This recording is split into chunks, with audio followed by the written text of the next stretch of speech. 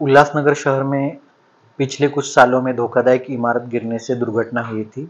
इसको मद्देनज़र रखते हुए हमने पिछले तीन सालों से धोखादायक इमारतों का बारिश के पहले ही सर्वेक्षण किया है और ऐसे जो अति धोखादायक इमारतें हैं, उनका सर्वेक्षण करके उनके ऊपर हमने स्ट्रक्चरल ऑडिट उनका करवा के ऐसी अति धोखादायक इमारत जो है, उनको हमने निष्कासन किया है। इसके साथ जिस इमारत का वर्गीकरण धोखादायक जो कम है जैसा सी टू कैटेगरी में आते हैं, ऐसे इमारतों का हम खाली करके या इमारत में रह के भी हम उसका पुनर्निर्माण कर सकते हैं, या कुछ इमारतें ऐसी कि उसमें छोटी सी मरम्मत करने की ज़रूरत है। ऐसी इमारतों का हमने लोगों को सूचना देके नोटिस देके उनसे मरम्मत करवाई है। तो शहर में धोखादायक इमारतें जितनी भी थी, इसके पहले हमने हर साल इस यादी को हम सर्वेक्षण करके अपडेट करते हैं।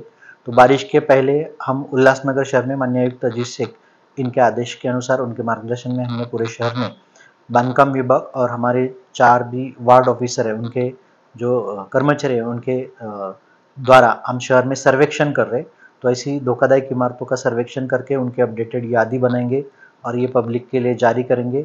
उसके साथ में ऐसे धोखादायक इमारतों का स्ट्रक्चरल ऑडिट करने के लिए हम उनके मालिक या उसमें रहने वाले जो लोग हैं उनको हम सूचित करेंगे। और इसके बावजूद भी अगर उन्होंने स्ट्रक्चरल ऑडिट नहीं किया और उसके ऊपर उचित कार्रवाई नहीं करी तो उसके ऊपर कानूनी कार्रवाई करने की सूचना उनको दे देंगे। तो ये हमारा हर साल का एक प्रोसीजर है। इस प्रोसीजर को हम अभी से शुरू किया हमने।